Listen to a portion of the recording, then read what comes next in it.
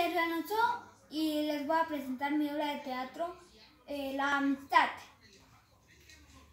Él es eh, Paco el pollito y ella es Pelusa la gatita.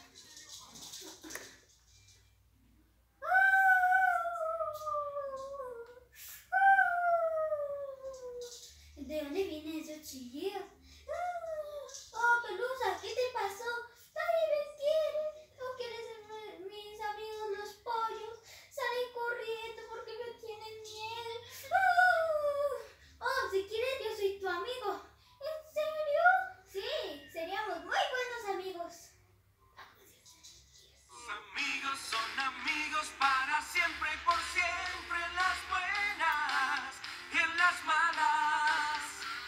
Siempre estaré a tu lado.